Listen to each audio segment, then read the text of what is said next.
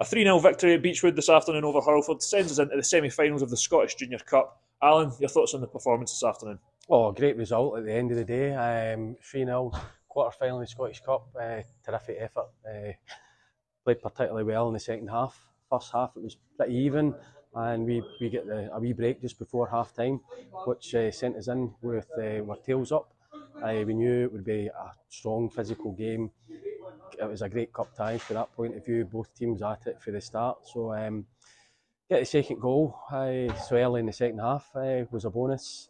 And then uh, we capped it off there with, with Kyle scoring in the last few minutes there. But uh, probably the last 20 minutes we were we were in the ascendancy, albeit Eden had a great save at 2 0. So overall, great team performance and delighted we're in the in the, in the, in the hat for the next round for the semi-finals.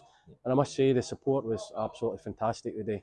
Uh, good turnout. So hope that that stands us in good stead and they keep coming. Yep.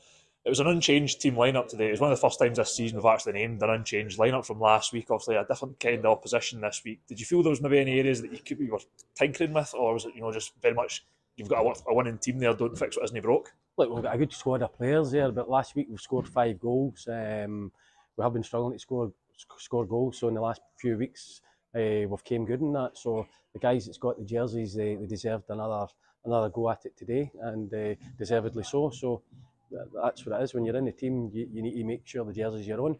Uh, we've got plenty of guys in the bench uh, that can come on. It's the same quality. So at the end of the day, it's uh, you don't win anything with 11 guys. It's about the, the team effort. So everybody's in it together. It's another three goals and a clean sheet against very structured opposition. So I think it'll be the case next week. It's more of the same, is it?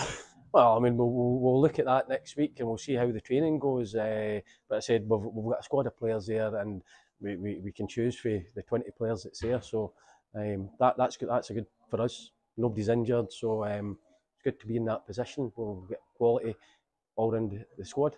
Yep. As the semi-final stage now, we put our place in the, the final four opposition where we're going to be potentially up against. We've got Darvel, we've got Arthurlie, we've got Johnstone Burgh. Obviously, all opposition that we've played this season. How do you feel about that? Oh, like it's uh, we'll, we'll, we'll see who we get drawn against them. We'll, we'll, we'll go and watch them. But uh, it's the semi-final of the Scottish Cup. You've got to give, give everybody a, bit of respect there, and we'll, we'll go and do our homework on them and see what comes back.